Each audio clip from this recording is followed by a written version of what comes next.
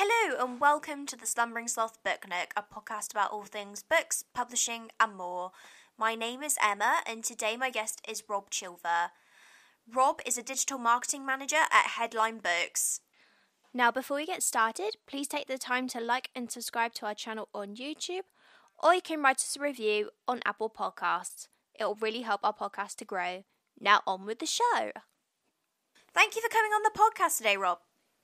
It's a pleasure. Thank you for asking. Yes. No, you're very welcome. So, first things first, um, can you tell us about your current role? So, my current role, I suppose my job title, I am a digital marketing manager here at Headline Books. Um, there's six of us in the marketing team. And my day to day role, actually, we were only just sort of trying to iron this out yesterday, funnily enough. Um, I'm responsible for the marketing of uh, certain titles that I'm given. I also get to sort of oversee some of the more uh, digitally led side of books. So if you were going to see things like Facebook ads or a Twitter account, or I mean, I was doing some Snapchat the other day, uh, that kind of all comes um, under my overview for things like that. Very awesome. So, would you say like your job very day to day kind of varies in different campaigns and different stuff going on all the time? Yes, I would say so. So, uh, no day is the same. That's very easy to say. Uh, I spend a lot of time actually looking out for new things to try, new things to play around with. You know, I'm always in the app store. What? How can I use this new app to possibly uh, talk to people or video or something like that? So um, I get to work on all my own books as well. But if there's one of the perks is if there's a big exciting book that one of my colleagues is is working on, uh, I can say, oh, uh, you know, I, I, fancy doing this. Uh, should we give it a go? And uh, one of the things I always asked was, I need to have permission to fail. If you're not trying something new, then you tend to end up being rather safe. So it's always fun to try something new and cross your fingers and, and see what happens. Yeah, because I guess the digital space is a little place where you can sort of experiment with different types of marketing or publicity campaigns or anything like that. So I definitely think digital has allowed that to happen. Mm. Well, I everyone I didn't want to be like the go-to digital guy in my team. You know, everyone should be doing their own sort of Facebook and Twitter stuff. Um, boring if all I was doing was setting up ads for everyone. So I kind of help everyone do that. But yeah, it's it's trying out something new, and also there's so much stuff now going on. Trying to get someone to sort of pause their Twitter feed and look at something is actually really quite hard.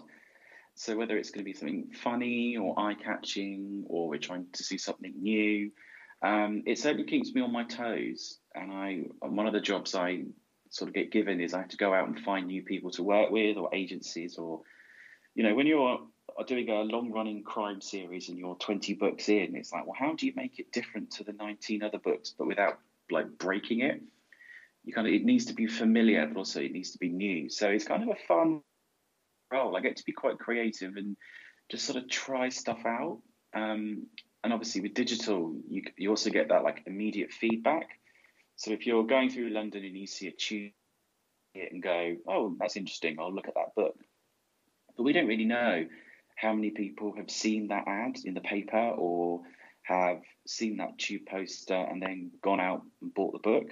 Whereas on digital, I can tell you like how many people saw it, how many people clicked on it, and in theory, how many people then went to buy the book, which is nice when it works really well. But then if you get something that doesn't work, you're kind of like, ah, okay, no, I need to go out somehow and go and fix it. So there's pluses and minuses, but yeah, getting trying out new things is a lot of fun, uh, but it can be a little bit scary as well when it doesn't work. Yeah, and there's always going to be a place for traditional marketing um, mm. posters and and all sorts because there's there are definitely ads that you see on the tube or even like in bus stops or something with a book like on a poster and it does catch your eye. Um, even I think bookshops have a massive role to play in that as well because yeah. they're very creative with how they like want to market a book. Um, so I think there's definitely always going to be a place for that traditional media because you're not going to reach everyone because not everybody is online. So if there's a oh, particular yeah. audience, I guess you want to go for like you know, that maybe only read the newspaper or like, you know, watch TV or, you know, don't really use engage, I guess it's a great way to sort of still reach yeah. those people. Well, the, the budgets aren't high enough usually to do TV. I mean, that's one thing about, about books is the budgets aren't high. But yeah, this old saying like you need to see something three times before you sort of decide to buy it or something like that. So uh, newspapers and actually radio works really well. Uh, uh, they are great at telling people that this book is out. This book is out now, or it's coming out. And you've also, um, like you said, bookshops. The the really good like window displays that like Waterstones and some of the independents do are really important at actually getting you to stop in the street and see it. And it's also kind of like a stamp of authority. Like this is an important book. You should be. We've, we've all put in the time and effort to do a window or or a newspaper ad or something like that. So yeah, it's all about now. We've got a really good idea of who who a book is for and where we can reach them. So I've done newspaper ads and then combined them with digital and podcasts, and you're kind of like managing to reach much wider people, um, sort of across that back across that sort of stretch of land, so to speak, uh, with a combination of things. So yeah, the the newspaper adverts, especially as newspaper reviewing is going, the space for newspaper reviews is going down um, having that ad is still really important. And I'm already briefing some in for like November and Christmas already. So even though I've got digital in my job title, I still get to do the old fashioned sort of things. And it's kind of cool actually when you do a print ad and you see it in the paper yourself. I do keep them myself actually. That's a little um, sort of uh, sort of like it's called a scrapbook. So yeah, they're not going to go anywhere anytime soon. That's cool. So kind of like moving on, um, how did you sort of get into publishing and what is your publishing journey? Well, I've got a bit of a, a long story. I'm not sure. So, I did uh, English literature at university. I then went on to do a master's, and the day after I handed in my dissertation my master's, I sort of took myself into town. So I come from Colchester, which is a town in Essex, and sort of just wandering around thinking, oh my God, like I'm, I'm not thinking about Salman Rushdie 24 hours a day now, like I was doing my dissertation on. Happened to pop into Waterstones and saw that they were doing a Christmas temp job. I applied for it, uh, thinking that would keep me busy till the January. Uh, they kept me on, and I was at Waterstones for about seven years. Ended up going from the shop floor to head office, where I was looking after the blog and the social media and kind of choosing sometimes which books we would pick. Uh, then Waterstone kind of went through a bit of a, a, change, and four of us got made redundant.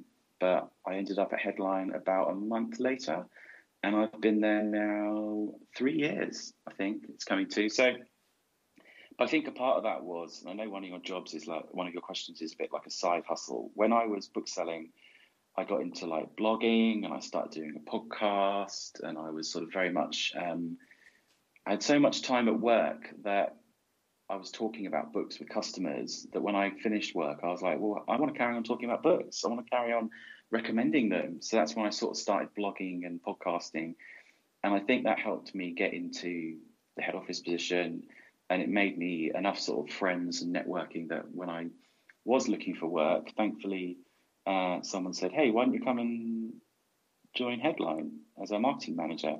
And here I am. So uh, three years now at Headline, um, and I've become I've gone from marketing to digital marketing because that was kind of my stronger point. Uh, but yeah, I didn't do all the. I do sometimes wish that I'd done the marketing assistant, gone up the ladder, because it was a bit of a uh, a leap into the unknown for me, and I've had to I'd say I'm still learning, but I'm also still always going to be a bookseller because I'm always pushing books onto people. Um, but it's yeah, it's it's strange being at times the other side of the publishing sort of cycle. I'm at the start now, uh, and not at the end. Mm. Yeah, of course. Um, so obviously, with your role, and I know we talked a bit about we kind of t- combine two things together at once. Mm. Um, what kind of uh, sort of key skills would you say for someone maybe wanting to work in, say, the digital marketing or marketing sphere? What would you say, like, the, say, the key, the top three key skills you think are the most important to sort of succeed in your role? Uh, so you don't have to be. The, I don't think you have to be the finished article. You always because, as I said before, there's always these new uh, sort of apps or, or platforms coming out. So you don't. To, I wouldn't worry too much if you if you've never been on TikTok or Snapchat or whatever, because um, you you can learn on the job. But I think having an awareness of the best places and the best sort of methods of selling books. So definitely be on Twitter and having that conversation about books. You get to know the people, and it's a fantastic networking tool. Uh, I had a weird thing when I walked in the door at Headline where everyone sort of knew who I was through Twitter, but I was basically squinting, going, "Do they look like their profile picture? Mm. I think hmm. they do." Uh, but you all you always feel like you already know something. Um, my wife actually did the same sort of thing where she left teaching to go into marketing, and she started um, as marketing assistant. But that's exactly what she was doing. Was she was talking to people on Twitter. She had an awareness of like the book trade and what's going on. Uh, and all the publicists on Twitter are all very friendly and talking about their books. So having an awareness of the digital space, I mean, uh, Twitter and Facebook and Instagram are the main ones that we use, but we all use them in different ways. Twitter is much more conversational and almost fast paced, where uh, fast paced, where things hang around on Facebook a lot longer. So I'd say the first thing is having that awareness of the people in publishing. So you get to know people, and you never know when someone might go, "Oh, I saw that person on Twitter, and I needed an assistant for something." Maybe yeah, you want you want your name to be sort of familiar. Um, the second thing is I was doing uh, blogging to start off with, and then podcast. I know now BookTube is is very much um, the, the, sort of the in thing now. I, I, I, might dabble my toe a bit in booktubing, uh, but basically showing that you're you've an interest in books, uh, that you're you don't have to be well read as in widely read, but if you're really into your sci-fi or fantasy, then but just knowing a lot about that area uh, can really help you if that's the area you want to go into. Uh, obviously, at Waterstones, I was reading sort of like the Waterstones books. That's like in air quotes. There were certain ones that Waterstones always pushed, and actually, Headline is a bit more um, sort of commercial than that. But I kind of knew about them, so that helps. So. Uh, you could do a book journal, like you treat it as a book, sort of showing that um, when someone applies to publishing, we get inundated like with all the entry level jobs. We're talking like hundreds and hundreds of, of applicants for that entry level job. Anything that you can do that will make you stand out. So if you've got a creative side, you know, Bookstagram, if you're doing those or you're doing some, you know, like interesting reviews, it all helps in standing out. Um, it's kind of hard, I'm afraid, and I do feel for people who are trying to uh, get in at the door. But um, the sheer number of people that we get is absolutely amazing. That there are people so passionate about getting into books. Um, so I'd say, yeah, play around with the platforms, show off that your enthusiasm. Um, the third thing, I mean, you know, you're doing all right with a podcast right now, so uh, uh, um, just yeah, talking to people and networking. And I know it's really hard if you live outside London, uh, but certainly getting on Twitter and talking about things is the way to go. Yeah. Yeah, no, that's great. Because, like as you said, it's hard to first, you know, especially if you live outside, way outside London, like me. Uh, I live on mm. practically yeah. the countryside. Yeah. Um, you, I created this as like a not like you know created it as like a way to sort of network or you know mm. a need to you know talk to people because it's really good to try and also speak to other people because um, it's good for other people to hear what other publishing people do so it's always great to get that information out there um, sometimes creating your own content i think can have have a, have a massive more impactful experience sometimes as mm. well so you're creating your own kind of work experience yes um, so we, we do have work experience here, but uh, it's quite tricky to get a lot done in like the two weeks. Mm. Plus, there is the issue of obviously uh, London, uh, you know, uh, Canongate are in Edinburgh, but everything is in London. And actually, as a company, I know Hachette are working really hard to sort of um, to try and fix that. So we're thinking about doing regional offices. We're also there's a thing that you can do. It's called the Spare Room Project, where if you do get some work in London, there are people here who have a spare room who will help you put you who will help put you up, and you know you have got to spend a small fortune trying to get here every day. Uh, so that's kind of like the face-to-face, I suppose, work experience. But if you've kind of already got like a, a portfolio or something, you know, and that can just easily be like a really good Instagram or a, or a book blog or a podcast or whatever, then that all helps. And it kind of like certainly when I was blogging, um, if I if I went back and look now, my book reviews would probably be very different to what I was doing now. I think you do kind of you kind of learn and it's it's practicing. Um, when I was doing the first ever podcast, it ended up being with me and my wife. We did it for five years. I was absolutely terrified before I did it. It was my idea to do a podcast, and I thought, uh, yeah, let's do it. But uh, she'd done student radio, and I sound absolutely terrified by the time I did it. It um, helped me in a way that I got used to talking about books. Uh, it helped me with like presentations when I had to go in and do it. Um, so now, luckily, because I've been doing, I was doing podcasts for like five years. It helped me practice talking about books, structuring an argument like in a book review. Uh, I'm, I still get nervous, which is good because I it shows that I still care. But now I'm a, bit more comfortable, like presenting to people who are senior to me, or trying to convince an author to sign with us, or present my plan. Like this is what I'd like to do for your book. So uh, it's all really helpful, really good practice, and it will help you in any job actually. But talking about books when you kind of like figure out what you want to say and how you want to say it, uh, all gives you like a bit of an advantage when you actually get there. Absolutely, absolutely. Um, so, sort of finally, um, what is a book that you have read recently that you would like to sort of recommend? Uh, I'm going to cheat a bit slightly because uh, it's one of my favourite books and it's the one that I always used to push onto people when I was a bookseller um, whenever someone would come up to me in the shop floor and they'd ask me that brilliant question, like, I don't know what I want to read, or I'm going on holiday, uh, what book should I read? And this is always the one that I went to, uh, and it's uh, The Secret History by Donna Tartt. Now, there is a film coming out of her third novel, but for me, The Secret History, um, it's one of those fantastic books where I probably read it at the perfect time and it's the story of uh, a guy called Richard who ends up going to some of kind of an elite um, university in America, but you find out from the work has been murdered, so it becomes um, more of a why done it than a who done it. But I got to read this actually at university when I was in this sort of very tiny American literature class, and it, it just sort of resonated with me uh, throughout the whole thing. And it's really well done, and it's a first person narrative, but it's one of those ones where you're not quite sure if you're trusting the narrator or not. Uh, everyone who uh, recommended it to has thankfully agreed agreed with me.